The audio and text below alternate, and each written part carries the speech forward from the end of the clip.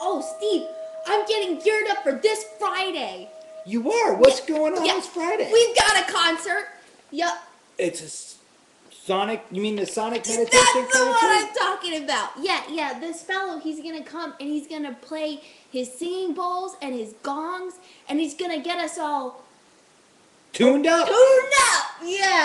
In deep states of relaxation. Yeah, and it's true because I've done these before, and when you hear like when I hear the gongs and I hear the um the bowls, it just all my thoughts go away because it's like this music is so intense. It just leaves me so relaxed and oh, I feel so good. That's what it's all about. Yeah. You want to feel good.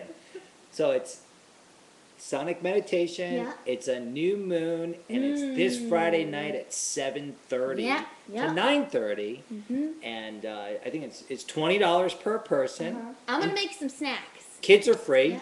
You're making snacks. I am. Yep. All right. Awesome. We'll Well, we see you there. Hope you can join us.